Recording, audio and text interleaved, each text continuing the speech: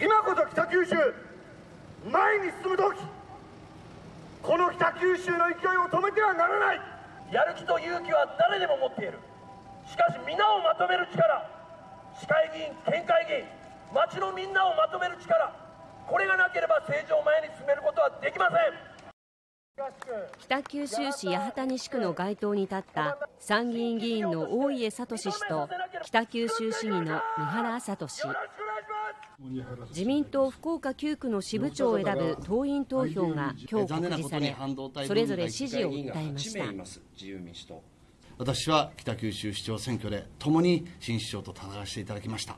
その強固な信頼関係こそが必ず北九州を前に進めることができる。私のこれまで培ってきた与野党を超えた人脈国会の中での人間力を生かせる場面だと思っています2人は保守分裂となった今年2月の北九州市長選で陣営の責任者を務めていて因縁の対決となります。出馬を要請いたします。よろしくお願いします。ぜひともこの福岡の力3人目の総理大臣そういった気持ちで私たちは先生の背中を押したいと思っております市議団や業界団体から衆議院議員へのくら替えを要請された大家聡参議院議員。全く同じ文面で総理を目指してほしいと書かれていました。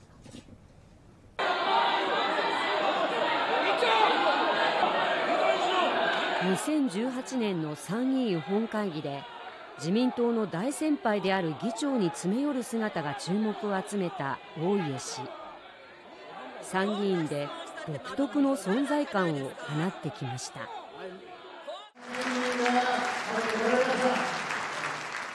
1年前の参議院選挙では58万票余りを獲得してトップ当選。ただその2か月後には衆議院福岡9区にくら替えする考えを表明していたということで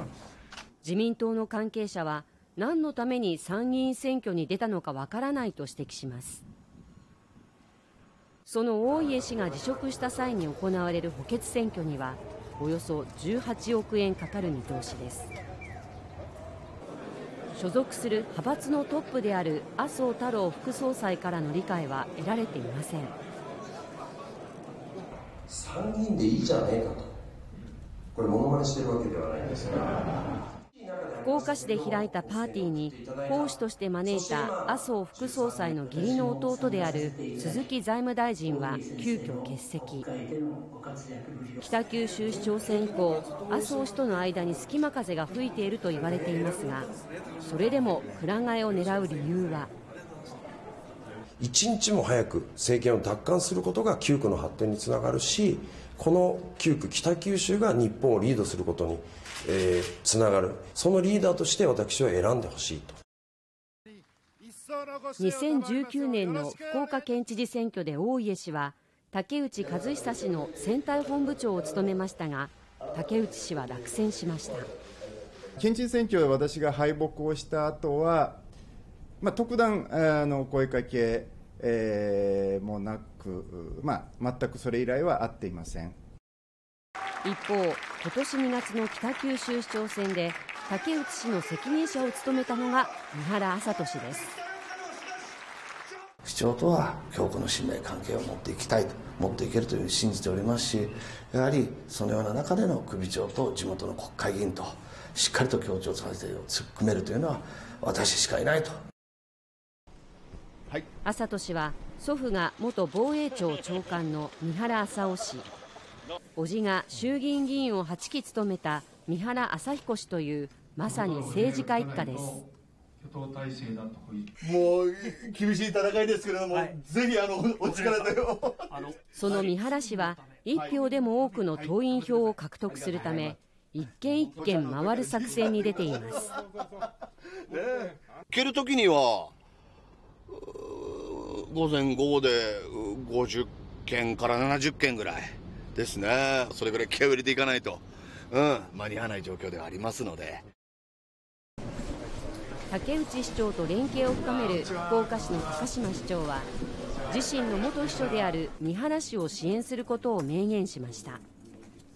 そのエリアの首長と国会議員が連携を取れるというのはですねあの非常にあの大きいというふうに思いますその彼があの今回いよいよ勝負に出るということですから頑張ってほしいなというふうに思っています。